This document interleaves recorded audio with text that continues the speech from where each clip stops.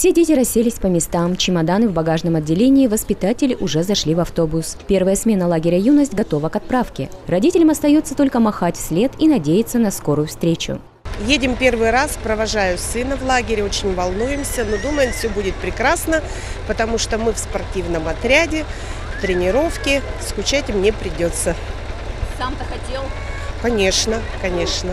Первый раз, поэтому сам тоже переживает, волнуется, но очень рад. В этом году первая смена в юности началась 3 июня. Лагерь полностью готов к приему детей. Значительно увеличилась материально-техническая база. Закуплено новое оборудование для столовой, корпусов и спортивных площадок. У нас э, чистота, порядок. В этом году мы э, очень много посадили цветов. Мы сделали новые душевые. У нас теперь полностью душевые кабинки. Все сделано, так что красота у нас. Вот. Ну, что мы еще сделали? Очень много купили постельного белья. Вот. Э, в этом году будем даже в корпус давать новое постельное белье. Скучать детям в юности не придется. Традиционно лето в лагере будет тематическим. Программа сезона называется «Солнечный Wi-Fi». Э, в лагере закуплено новое оборудование.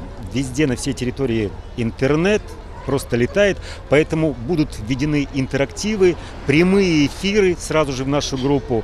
То есть все самые новейшие технологии будем использовать для развлечения детей. В этом году юность будет работать в 5 смен по 18 дней. Первой отдохнут 148 копейских детей.